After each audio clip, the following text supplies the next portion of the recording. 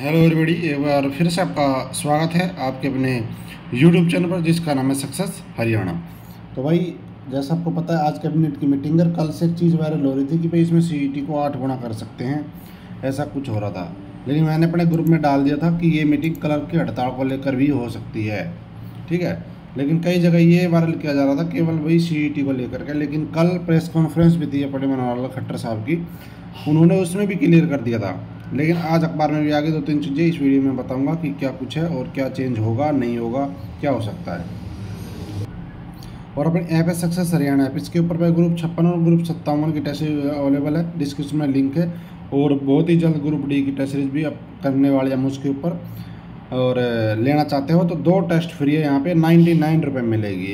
एक सौ उनचास की जगह नाइन्टी नाइन रुपये में कर दिए, सफलता एक्सप्रेस टेस्ट सीरीज़ बीस टेस्ट हैं। और ये स्टाफ नर्स के ये भी नाइन्टी नाइन रुपये में ही कर दिए वहाँ पे ये भी अपनी ऐप के ऊपर अवेलेबल है सक्सेस हरियाणा ऐप सत्तर क्वेश्चन एक टेस्ट सीरीज़ में बीस टेस्ट मिलेंगे आपको। दो डेमो टेस्ट फ्री हैं इंग्लिश मीडियम के आधार पर नए सिलेबस है जो एचएसएससी का, उसके आधार बनाई गई है। लेना चाहते हो तो ले सकते हो। अब आ जाओ इसमें। अब इसमें क्या ग्रुप सी की मौजूदा भर्ती में सीटी पास में से चार गुणा बुलाने की शर्त में बदलाव नहीं हो सकता, मनोहर लाल।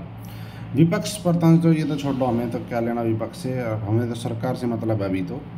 देखो, यहाँ पे क्या लिखा है? जो कल प्रेस कॉन्फ्रेंस जो मैंने आपको कहा, कल जो प्रेस कॉन्फ्रेंस हुई थी, उसी में जो कहा है, उसी का हवाला इस अखबार में दिया आपने देखी नहीं देखी प्रेस कॉन्फ्रेंस ये तो मुझे नहीं पता। लेकिन उसमें क्या कहा था? तो उसमें अपने सीएम साहब ने दोहराया है कि हरियाणा कर्मचारी चयन आयोग की ग्रुप सी की पदों की भर्ती के लिए सीटी के स्कोर के अनुसार चार गुणा बुलाने की जो सीटी पॉलिसी चल रही है, उसमें, उसकी नियम और शर्तों में कोई बदलाव नहीं हो सकता। उन्होंने कहा, जब भर्ती पूरी हो जाएगी, तब सीटी पॉलिसी में संशोधन पर विचार किया जाएगा। उन्होंने कहा कि तब दूसरे राज्यों की पॉलिसी का भी अध्ययन किया जाएगा। इसका मतलब क्या है? इसका मतलब ये है, अब तो ये चार गुना ही बुलाएँगे, लेकिन कम से कम, अगर चार गुना बुला रहे हो, ये तो मैं बात पहले भी कह चुका। चार गुना बुला रहे हो तो चार गुना तो कम से कम फेयर होना चाहिए ना। बिना वेरिफिकेशन के आप चार गुना में ठूस रहे हो, बच्चों को पाँच नंबर रेवड़ी की तरह बांट दिया आपने। कोई एलिजिबल है, उसको भी, जिसको नहीं है वो भी पाँच नंबर ले रहा है। तो इन्होंने कहा, भाई, बदलाव अगर करेंगे तो कोर्ट में केस हो जाएगा भर्ती रुक जाएगी इस तरह से। ये सब इन्होंने भाई कहा है। उसके बाद कहा है कि मुख्यमंत्री मनोहर लाल ने कहा, दरअसल कुछ कोचिंग सेंटर वालों ने पढ़ाओ पढ़ाने के नाम पर बच्चों से पैसे लेकर युवाओं को नौकरी की गारंटी दे रखी थी। अब ये पता नहीं कहाँ से बात आई है, लेकिन ये कह रहे हैं। अब चार गुणा में वो उम्मीदवार नहीं आ रहे तो वे युवाओं को उकसा रहे हैं। मतलब लॉजिक देखो आप।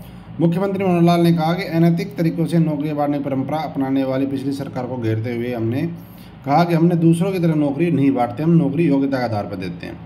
तो भाई फाइनली बात यह है कि भाई, इसमें तो कोई भी संशोधन करने के लिए सरकार तैयार नहीं है, ठीक है?